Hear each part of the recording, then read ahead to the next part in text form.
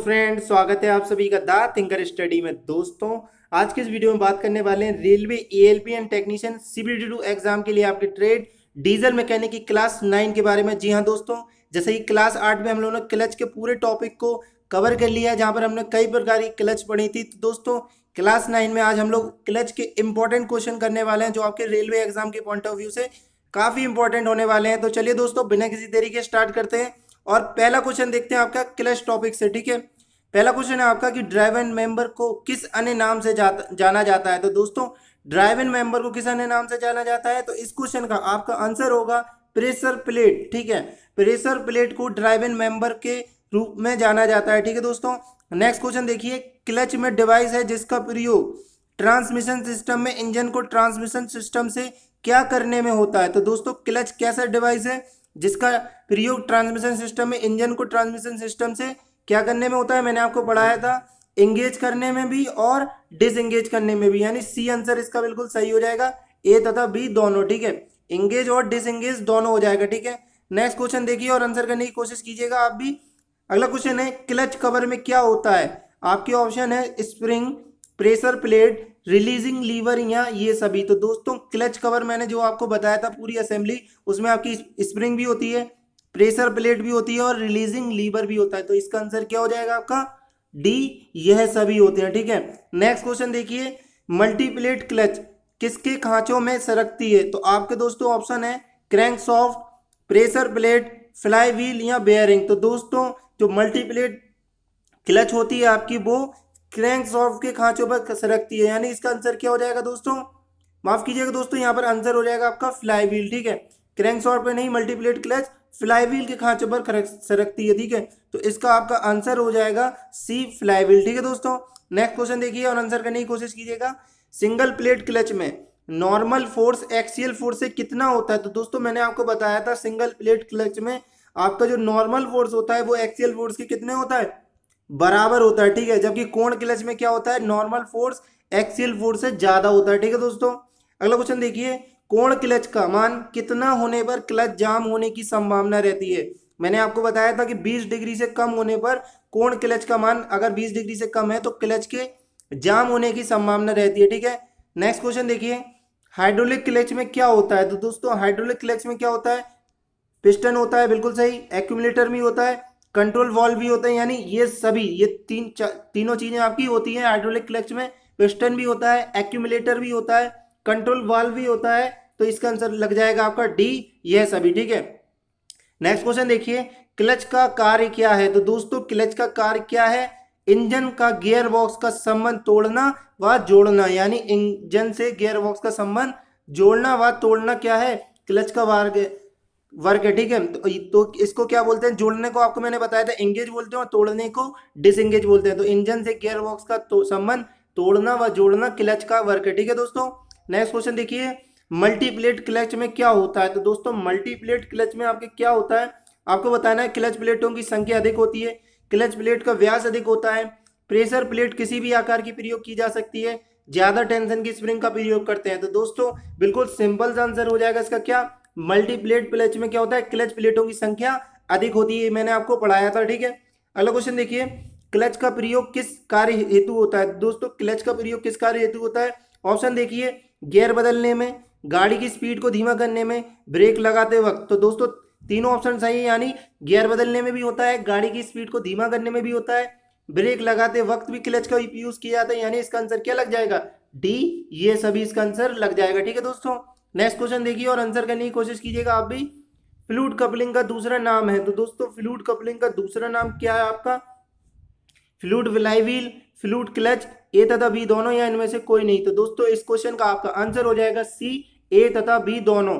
जो flute coupling होती है, उसका दूसरा नाम है फ्लूट फ्लाईव्हील और फ्लूट क्लच। ठीक है दोस्तों, ये दिमाग में आप ये नोट रख लेना, क्योंकि फ्लूट कपलिंग को फ्लूट फ्लाईव्हील भी बोलते हैं और फ्लूट क्लच भी बोलते हैं। ठीक है दोस्तों, अगला क्वेश्चन देखिए। विद्युत चुंबकीय के क्लच फ्लाईव्हील पर क्या बना रहता है? दोस्तों, यहाँ पर लचके नहीं है, यहाँ पर क्लच कर लीजिएगा आप लोग। ठीक है विद्युत चुंबकीय जो इलेक्ट्रोमैग्नेटिक क्लच मैंने आपको पढ़ाई थी, उसके फ्लाईव्हील पर क्या बना रहता है? दोस्तों, वहाँ पर क्या बना रहता है? तांबे की तार की कुंडलियाँ बनी रहती है, यानी तांबे के तार की क्या होती है? वाइंडिंग रहती है, ठीक है? तो ए आंसर इसका बिल्कुल करेक्ट हो जाएगा। ठीक है दोस्तों नेक्स्ट क्वेश्चन देखिए। नेक्स्ट क्वेश्चन है आपका क्लच प्लेट किस धातु की बनी होती है? तो दोस्तों, जो क्लच प्लेट होती है, वो आपकी, मैंने आपको बताया था रॉ मटेरियल्स काफ़ी इंपॉर्टेंट है आपके एग्ज़ाम पॉइंट ऑफ़ व्यू से। ये बहुत अच्छे से आपको आना चाहिए। जो क्लच प्लेट होती है, वो आपकी स्टील की। पत्तियों की बनी रहती है, यानी सी आंसर इसका बिल्कुल करेक्ट हो जाएगा, ठीक है दोस्तों? अगला क्वेश्चन देखिए क्लच प्लेट के दोनों तरफ़ किस पदार्थ की लाइनिंग बनी रहती है? दोस्तों, चमड़े की हाँ बिल्कुल होती है कॉर्क की, ये भी होती है फैब्रिक एस्बेस्टेस की, ये भी होती है, और डी आंसर इसका बिल्कुल सही हो जाएगा, यानी ये सभी, यानी क्लच प्लेट के दोनों तरफ़ आपके चमड़े की कॉर्क की और फैब्रिक एस्बेस्टेस की क्या होती है? लाइनिंग बनी रहती है, जिससे कि क्या होता है? फ्रिक्शन उत्पन्न होता है, पैदा होता है, ठीक है दोस्तों? नेक्स्ट क्वेश्चन देखिए। नेक्स्ट क्वेश्चन है आपका, निर्वात क्लच में किसका प्रयोग किया जाता है? दोस्तों, निर्वात क्लच में आपका किसका प्रयोग किया जाता है? ऑप्शन देखिए, इंजन की गति का, इंजन मैनिफोल्ड के निर्वात का, तांबे की वाइंडिंग का या लुब्रिकेशन का। तो दोस्तों, क्या आंसर हो जाएगा? निर्वात क्लच में किसका उपयोग किया जाता है?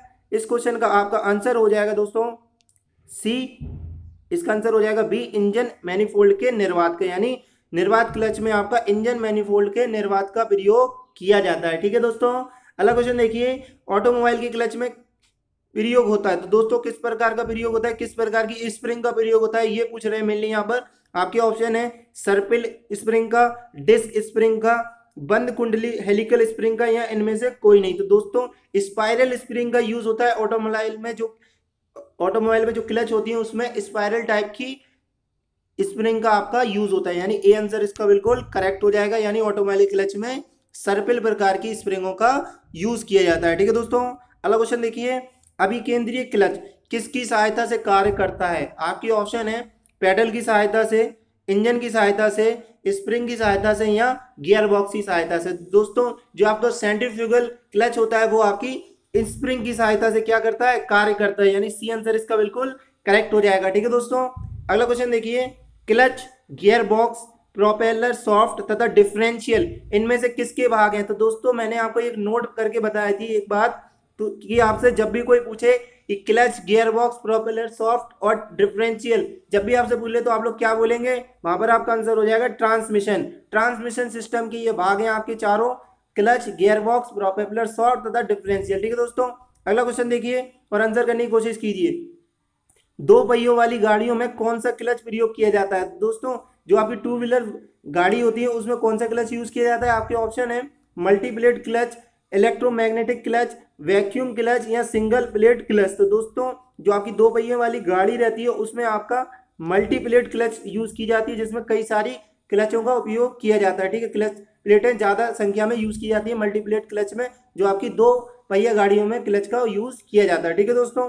अगला क्वेश्चन देखिए डायफ्राम स्प्रिंग का कार्य है। तो दोस्तों डायफ्राम जो स्प्रिंग होती है, जो मैंने आपको बताया था, जिसकी विशेष आकृति रहती है, जिससे कि वो क्या करता है, प्रेशर प्लेट को, आपकी जो क्लच डिस्क है, उससे दूर हटा देती है, जिससे आपकी ट्रांसमिशन सिस्टम में जो एनर्जी का सप्लाई हो रहा है, वो रुक जाता है, जिससे कि हम गियर चेंज कर सकते हैं। ठीक है दोस्तों? तो दोस्तों, यहाँ पर डायफ्राम स्प्रिंग का यूज़ बता रहे हैं आपको। तो दोस्तों ऑप्शन है आपके क्लच डिसंगेज करने में क्लच इंगेज करने में गियर लगाने में या उपरोक्त सभी में। दोस्तों डायफ्राम स्प्रिंग का आपका यूज़ होता है क्लच डिसंगेज करने में, ठीक है?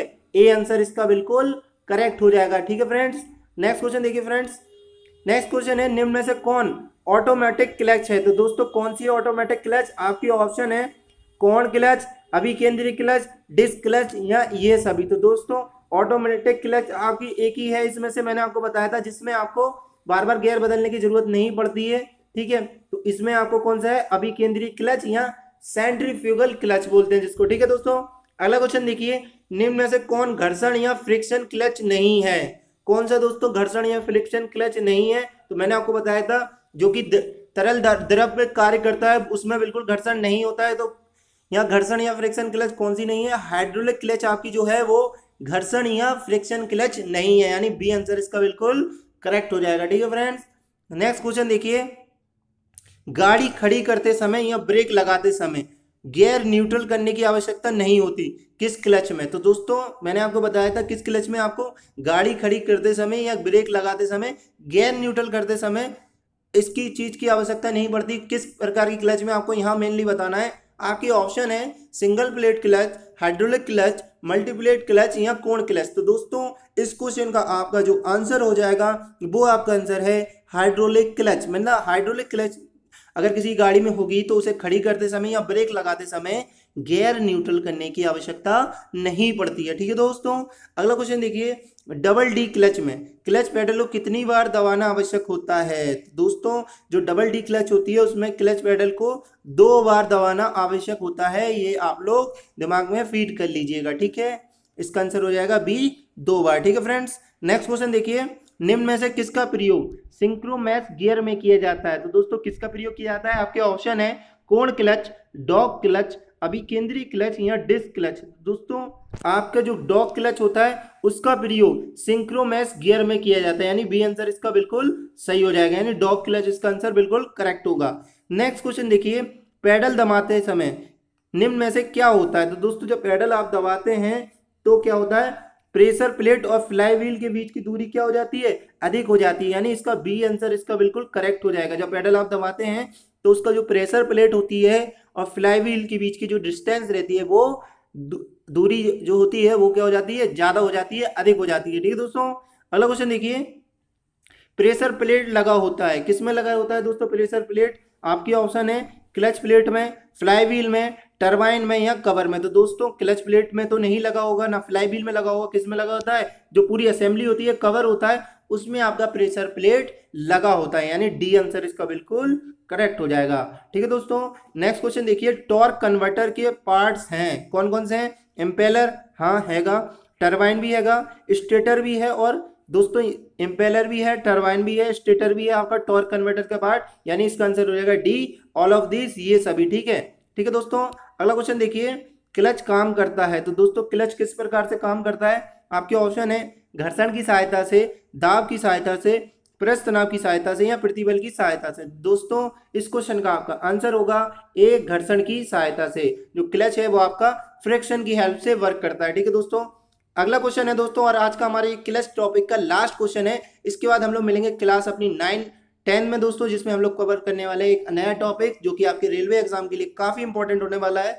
तो दोस्तों, इस वीडियो को अगर अच्छा लग रहा है तो ज़्यादा से ज़्यादा शेयर कर दिए, ताकि हमें भी इस तरह की मोटिवेशन मिलती है आप लोगों के लिए हम अच्छे से अच्छा वीडियो अच्छे से अच्छा कंटेंट जल्दी से जल्दी प्रोवाइड कर सकें। इसलिए ज़्यादा से ज़्यादा इस वीडियो को शेयर कीजिए। चलिए, अब हम लोग देखते हैं अपने लास्ट क्वेश्चन को। डैम्पर स्प्रिंग का कार है। तो दोस्तों, मैंने आपको एक पॉइंट पढ़ाया था, जो डैम्पर स्प्रिंग होती है, डायफ्रेम स्प्रिंग होती है, उसका कार्य क्या है? आपके ऑप्शन है कंपन को कम करना जर्की स्टार्ट में टॉर्क अधिक करना, या ये सभी। तो दोस्तों, इस क्वेश्चन का आपका आंसर है, जो वाइब्रेशन उत्पन्न होते हैं, उसको कम करने का कार्य आपके डैम्पर स्प्रिंग का होते हैं, यानी थर्टी का आंसर हो जाएगा एट ठीक है दोस्तों? आज की वीडियो में दोस्तों सिर्फ़ इतना ही। ये यहाँ पर हमारी क्लास नाइन क्लास यहाँ पर आपके तीन टॉपिक कवर हो चुके हैं, बिल्कुल ठीक है। अगली अब अब हम लोग मिलने वाले हैं अपनी नेक्स्ट क्लास टेन में, जिसमें हम लोग नया टॉपिक पढ़ने वाले हैं आपके रेलवे एग्ज़ाम के लिए। आज की वीडियो में दोस्तों सिर्फ़ इतना ही। यदि दोस्तों वीडियो अच्छा लगा, मेरी मेहनत अच्छी लगी तो प्लीज़ को लाइक कीजिए कमेंट करके बताइए। यदि कोई भी डाउट हो वीडियो को शेयर कर दिए ज़्यादा से ज़्यादा लोगों को, ताकि उन लोगों को इस चीज़ का बेनिफिट मिल सके। चैनल को जो सब्सक्राइब कर दिए और सब्सक्राइब करने के बाद बेल आइकन को जो दबा दें, ताकि आपको रोज़ाना जी के और वैकेंसी से रिलेटेड अपडेट ऐसे ही मिलते रहे। तब तक के लिए थैंक यू दोस्तों। जय हिंद।